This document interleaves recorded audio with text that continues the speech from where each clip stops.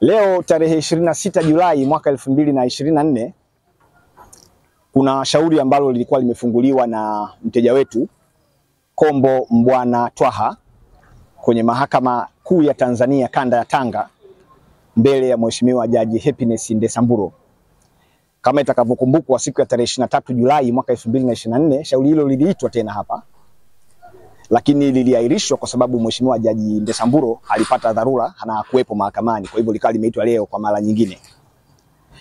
Kombo anawashtaki mkuu wa jeshi la polisi nchini IGP e, Camillus Wambura pamoja na e, RPC wa Tanga e, na mwanasheria mkuu wa serikali waje waeleze mahakamani kwa nini walimshikilia kinyume cha sheria kwa siku ishirini na tisa na bado wanaendelea kumshikilia huko wanakomshikilia wao kwa siku zote hizo.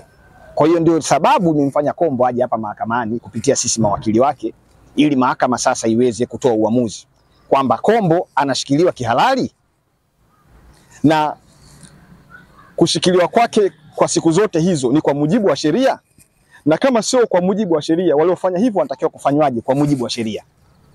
Sasa tulipokuwa leo mbele ya Mheshimiwa Jaji Happiness Ndesamburo E, wenzetu walikuwepo upande e, wa wajibu maombi na walikuja na hoja kwamba wanaomba shauri hili liondolewe mbele ya Mahakama Kuu kanda ya Tanga kwa sababu limeshapitwa na wakati, kwa kuwa kuna shauri lingine liko mahakama ya wilaya ya Tanga ambalo linamhusisha Jamhuri dhidi ya mtu anaitwa Kombo Mbwana Jumanne. Kwa hiyo hiyo ndio hoja yao. Kwa hiyo shauri hili liondolewe mahakamani. Sasa sisi tulijibu kirahisi sana hoja hiyo, tukaiambia mahakama kwamba shauri lililoko mbele ya mheshimiwa jaji kwa mujibu wa nyaraka zilizopo kwenye kumbukumbu za mahakama linamuhusu mtu anaitwa Kombo Mbwana Twaha.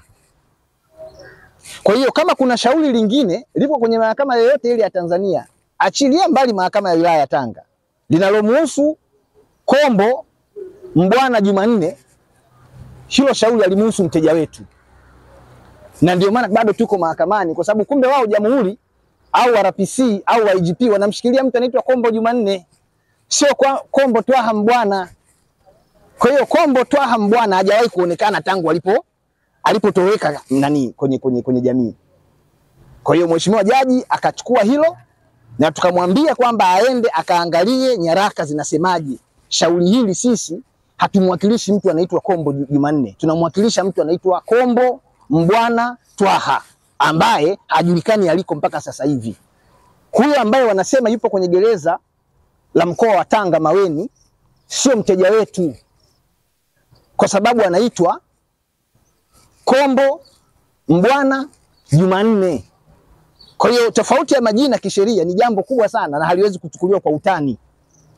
Mteja wetu sisi tunamjua kwa chama, tunamjua kwa sura, tunamjua kwa mahusiano yake na watu wengine, lakini sio huyu ambaye wamemtaja leo mahakamani. Kwa hiyo shauri hili tumeiambia mahakama ni shauri halali kabisa, linapaswa kuwepo mahakamani, lisikilizwe na litolewe uamuzi. Lakini wenzetu pia walikuja na ombi kwamba kama mahakama itaona kuna haja ya kuendelea kulisikiliza shauri hili wapewe siku kumi na nne ili waweze kujibu hoja ambazo tumezileta.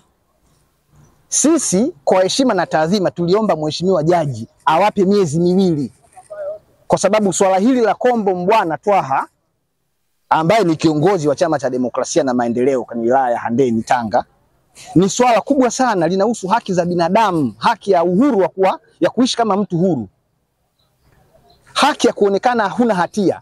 Hawawezi kwa namna ninavyofahamu wenzetu wa, ofisi ya mashtaka hawawezi kujibu hoja hizo ndani ya siku kumi na nne. Kwa hiyo tumemwomba mheshimiwa jaji aone kwamba kuna sababu ya kuwapa miezi miwili wakaandae majibu yao wayalete, tuone kama yatakuwa yanakidhi vigezo vya kisheria, na ikiwezekana waje wote, sio hawa waliokuja leo, ni wachache. Wakija hata elfu moja hivi inaweza ikasaidia kidogo kujenga hoja zao. Si tufanye utani hapa, tunazungumzia masuala yanayohusu haki za watu na